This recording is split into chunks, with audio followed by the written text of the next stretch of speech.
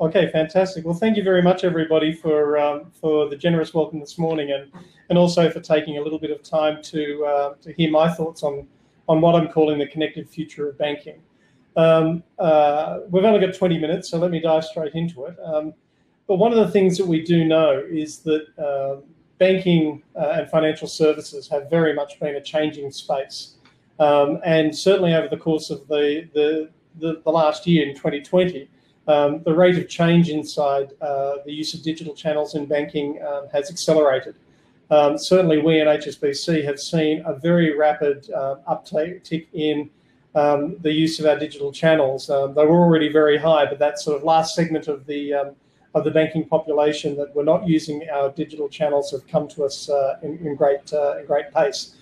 but of course, the journey doesn't stop there. And uh, we very much see that we're at the cusp of, or in the early stages of, the next um, uh, phase of, of banking and financial services through digital channels. And it started back about 25 odd years ago with internet banking. Uh, and then as the mobile devices and the speed of the mobile networks um, matured over the last decade or so, we've seen very much a shift to mobile banking. Um, but now here in 2020, um, we're going to that next generation, and that's really about creating a connected environment of uh, of uh, of uh, banking and financial services, and powered through uh, API connections. Um, what's going to define success in this um, uh, next era of connected banking is really going to be, I guess, the ability of financial services organisations to make their services and data available to, um, to uh, customers and partner organisations um, through a range of different mechanisms. We're either going to uh, participate in open banking initiatives, and of course, HSBC is very much uh, actively involved in a, uh, open banking in the markets where that legislation has been passed. Um, we're actively um, connecting with the open, uh, sorry, the external API economy um, through uh, through marketplaces and the like. Um, and we're using what we call industrial APIs for, uh, for deep customer integration and to embed banking into customer value chains. And that's really where we'll go to a large customer and we'll build um, custom built APIs that allow us to connect our banking systems to their ERP or to their trade systems or, or whatever. But when you think about banking and APIs, APIs really are just a tool. Um, what this is really all about is ecosystems. And ecosystems, I think, is a really important way of, of thinking about, um, about banking and financial services. Uh, that photo there is actually a, a, photo I took of a place called Kakadu in the north of, uh, of Australia, where I'm from. Um, and uh, Kakadu National Park is one of the most beautiful and sophisticated natural ecosystems that we, uh, that we, that we enjoy in Australia. Um, the thing that's uh, important about any ecosystem, and certainly important, important about uh, the Kakadu one, is the way that all the different participants all work together, doing their own job, doing their own thing to make this ecosystem work in a way that is effective for everybody. Um, you know, the, the grass that grows in the water provides uh, uh, filtration and, and, oxygen for the fish, and the fish are food for the birds, and the birds are food for the crocodiles, and, and so on. But each player in that ecosystem works together in a way that creates a symbiotic system that brings value and benefit to, uh, to all the participants of that ecosystem. But what's a business ecosystem? Um, this is something that I personally have a great interest in, and, and um, I found this wonderful diagram from a company called Wavestone in the United States, where they talk about um, an ecosystem is a connected environment that provides value across a business value chain. Um, and in any ecosystem, um, we use technology, um, API technology, to, in a business ecosystem to be able to create connection and interoperability um, or orchestration.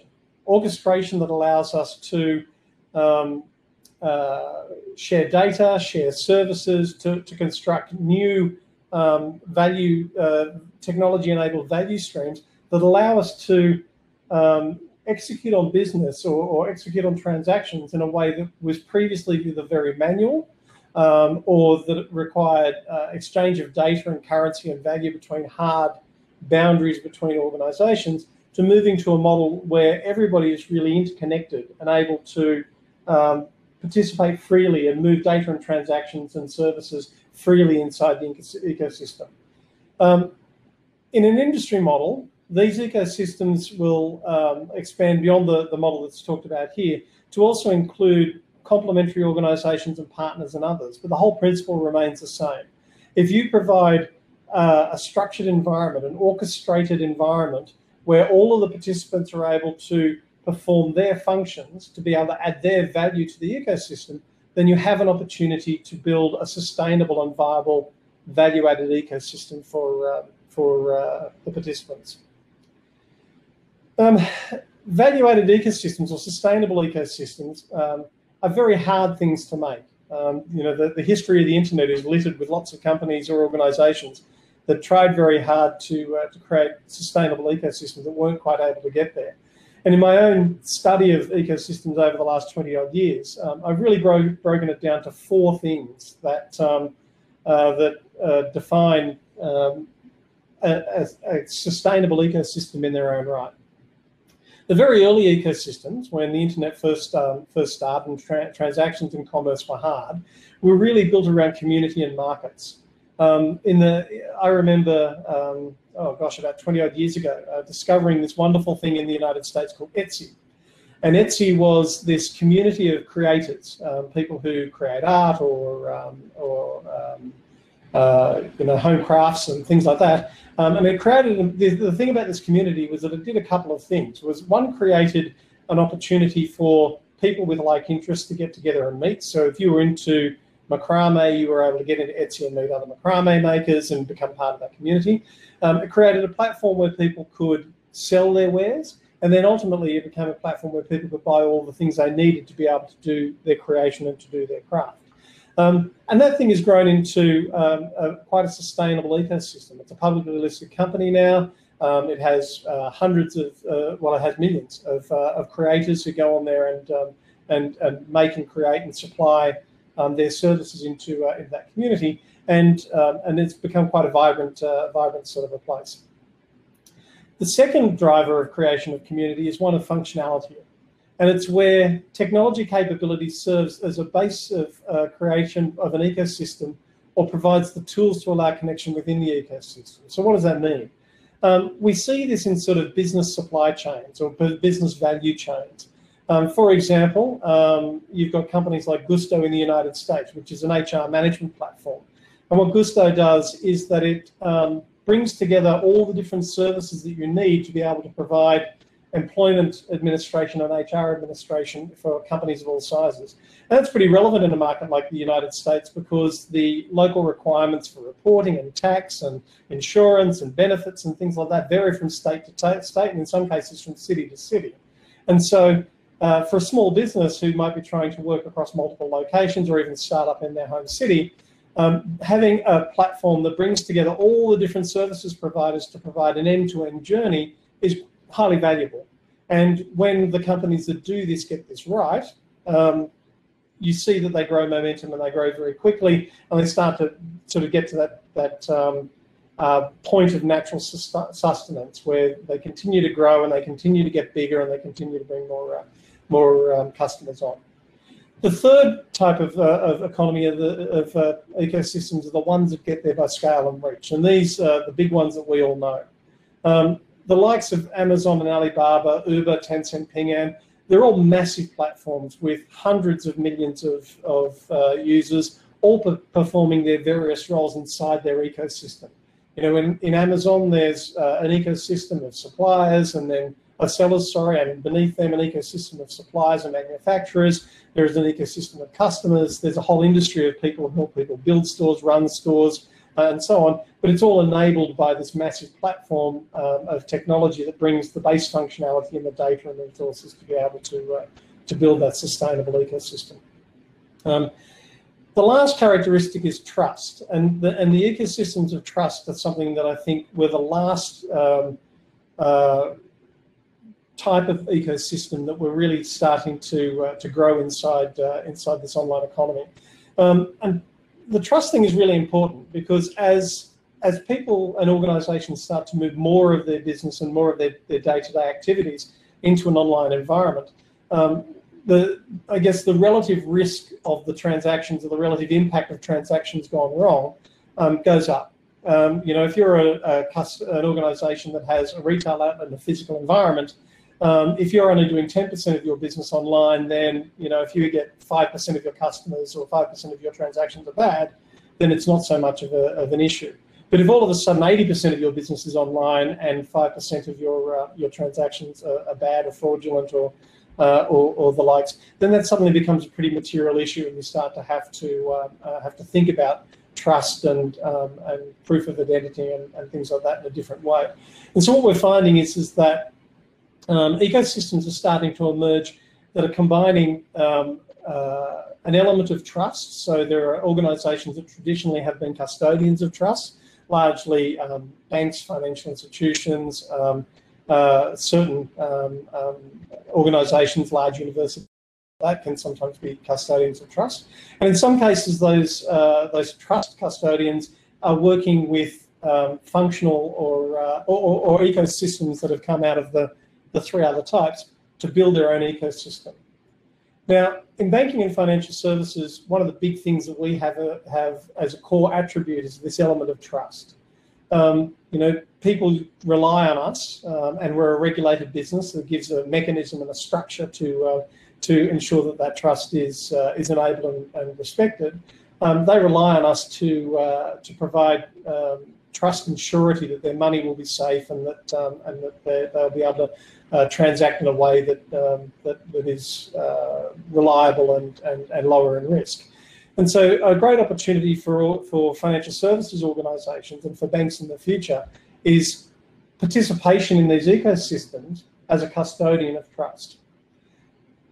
We also have, of course, the fact that we provide functionality and we provide scale and reach. Um, you know, delivering financial services payments around the world every single day across, well, HSBC does it across 60 countries, um, is not is not a trivial thing. Um, the volumes of transactions are in the trillions, um, and the values of uh, of transactions are equally high numbers. And so um, there are th there are natural positions, I guess, that uh, that organisations um, like financial services organisations and banks can take as we move more and more into this connected ecosystem environment. I guess in, in order to understand where you're going to fit um, in an ecosystem environment is one of, one of the key decisions that you have to make. One of my observations over having worked in the internet for a long time, I started my personal internet company in 1993, and so even though I don't look that old, I've been doing this for a long time. Um, one of my observations is, is that I've seen a lot of investments or companies um, fail when they go and try and pursue an ecosystem strategy that that isn't where they naturally fit. Um, you know, there's a whole uh, raft of organisations that have tried to disrupt traditional industries and value chains. Um, and on trying to enter and disrupt those traditional value chains, they've found that there's more than just the technology and more than just the data that enables those, those ecosystems to, uh, to, to work. And so a real challenge for any financial services organisation is to understand your natural fit in any ecosystem and where you are, um, are going to uh, are going to be able to naturally uh, land and thrive. This is a great model that was developed by uh, a person called Kristin Moyer from Gartner, and it's a little bit old. It's 2017, which is what 100 internet years. Um, but uh, but I think it's really wonderful way to to depict um, how to evaluate where your natural fit is if you're in an environment where you have a very high risk appetite and you have a, a, a, the ability to lead the industry direction, then you absolutely should try and build something. And we've got a great example in, in Hong Kong where uh, HSBC has built PayMe, which uh, is very much a, about building an ecosystem for person-to-person and, and person-to-business payments. Um, uh, conversely, if you have a very low um, level of uh, risk appetite, and you don't really have control, then then you really need to focus your energies on adapting to an industry direction. And, and the, the best way to do that is to either collaborate um, with uh, with the strong players in any ecosystem market or uh, or to partner um, if uh, if you um, feel like uh, your risk appetite is a little bit higher. And then, of course, if you've got a low level of risk appetite and you, you want to lead the industry direction, then you need to buy somebody who's already strong in that, uh, in that environment. Um, but the important thing is, is that your position is sustainable when it's natural. So, for example, um, HSBC has a very strong business in trade finance. It's very natural for us to be um, very active in industry leading uh, initiatives around trade and trade finance. Um, conversely, uh, it might be that um, it, there are other ecosystems where we don't necessarily have a strong natural position, and maybe our best strategy is to um, is to uh, um, uh, to partner or collaborate. And so, one of my um, constant messages is really to make sure that uh, as you evaluate ecosystems that you wish to uh, to work with, that you do it in a way that you are um, uh, identifying sustainable place of natural fit and then working with the right partners and uh, and, um, and, and participants to be able to do that.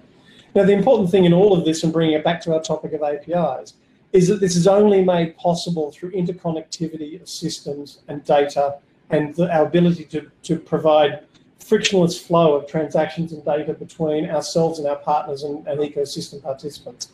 Ecosystem, the future of connected banking is ecosystems, but the engine of ecosystems is APIs. So, as my thoughts on the connected future of banking, I sit here very excited about the future that we have ahead of us. I think, you know, it's the, the changing nature of markets, the changing nature of, of our customer expectations, um, the learning that we get when we see um, a high performing startup or a fintech that solves a problem for our customers in a new way that helps to educate our service proposition for uh, for our, our valuable customers. Um, it all it's all about creating uh, a, a, higher value experience for our customers, and it's all made a, a, possible through APIs and technologies that, uh, that, that empower it. So, in closing, um, my top tips. Um, number one is just to accept that the future of banking is connected. Um, if you're going to make it, well, not going to, when you have to make your decision about um, about uh, entering into ecosystems to ensure that you participate in the API empowered economy and that you're providing the right services um, and, uh, and, products to add value to the ecosystem to, to help every every organisation in the ecosystem thrive. Um, the very first question that you need to um, to ask is is my position in this ecosystem natural? And understand that your position in, in different types of ecosystems will be different. So you need to ask that question every single time. The second thing is, is that once you once you've understood where your position is, be really clear on what you're there to do. Um, you can't be in an ecosystem and be everything. By definition, you can't. It's not the way that ecosystems work. So you need to make sure that your proposition is clear and that you are performing to your proposition and fulfilling the job that you are there to do. In my Kakadu National Park example, the plants filter the water and provide food for a whole pile of, uh, of uh, other ecosystem participants. There's nothing else that they can do to add value, and so they're best focused on doing that job particularly well. Well, ecosystem participants should be focusing on, on, uh, on that exact point themselves. Um, use the ecosystem as an opportunity to learn. Deliver the products and services that are supported that are based on your strengths, and then learn and evolve and modify those existing products and services to fit or indeed create new products or services to fit that are um, that are based on the, the things that, that are aligned to your natural position. A big one is make friends. Um, sometimes the most powerful place in an ecosystem is as a critical value adder in somebody else's ecosystem. And certainly we're seeing as, as connected marketplaces and ecosystems grow that there are some places where the very best thing we can do as HSBC is to be a strong value adding partner for the ecosystem that is already succeeding uh, in, its, in its own domain. Um, be critical of the risks and opportunities. Um, sometimes you, you, need to make decisions. You need to make decisions about whether or not you're going to disintermediate yourself in, in a particular type of market or ecosystem, uh, and you need to decide whether or not that's okay. You need to understand whether or not the risk profile of the type of commerce that happens in that ecosystem is something that you're happy to have your brand and reputation aligned to you need to make sure that um, that you're covering the, the, inherent risks that are there with um, the transmission of data and, and cybersecurity and all those sorts of things. Um, and so you need to make sure you have the right balance. You know, it's everything in business. There's opportunities and upside, but there's also constraints and risks that you need to be aware of. And then my last comment is just do it. Move, learn, iterate, and grow. Um, APIs are exciting. They're very powerful technologies that enable us to um, to uh, think about new ways to serve customers, think away new ways to reach markets, think about new products and services to add value. Um, but we're not going to uh, to do that if we just sit there with a whiteboard and talk about it. It's time to get out there and take some action. And so with that, I'm happy to take any questions or take any comments or. Yep. Okay, thank you. Thank you, Richard. So uh, one question. Uh, so um, as you have men mentioned that um, in the future, it is talking about connected business. So uh, this is also my experience that uh, when we need to integrate. Uh, we can't hear you. I can't hear you, Patrick. Oh, can, you can't hear me. Can you hear me? Hello. Is it? Can can can hear me? No. Hello, hello, hello. 佢佢佢明咩 ？Okay, so can cannot hear me? Is it?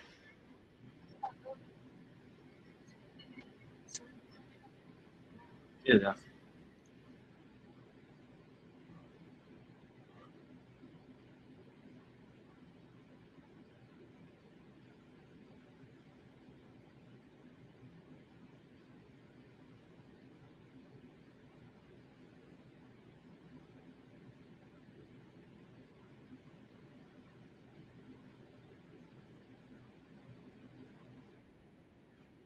Can you hear me? Cannot. Cannot. So maybe I, I go I go there. okay. So.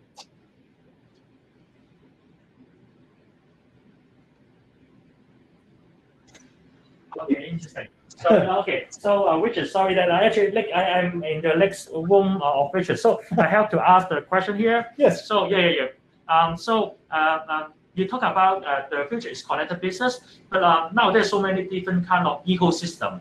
Uh, how as a bank, how can you integrate with different kind of ecosystem because they will have their own standard, etc.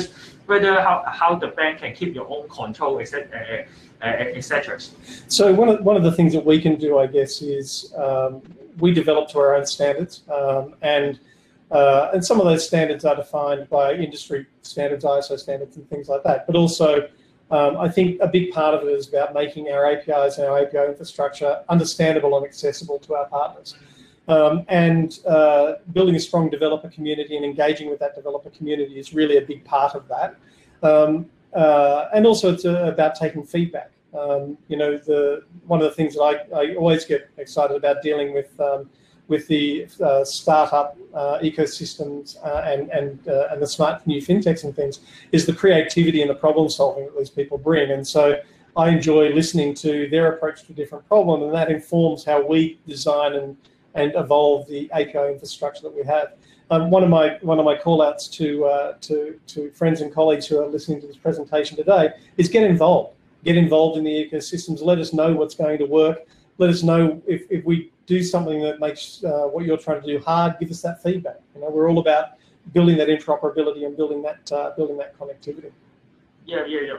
Okay, so uh, thanks, Richard, for your time. So yeah, although we have some technical issue, but hopefully yeah, we got there. Yeah, yeah. but, uh, hopefully everyone can really uh, uh, understand and also can catch up uh, Richard's content. So thanks again for Richard's time. Yes, and uh, and, and reach out. Um, I'm on all, all the well, I'm on on uh, LinkedIn and uh, and Twitter. If you have a question, feel free to message me or um, or, uh, or reach out some other way, and I'm more than happy to get in, into the conversation. But but um, be brave, right? Like it's exciting times, and, and there's real opportunity for the for the smart people who, um, who as I say, move, evolve, learn, and grow.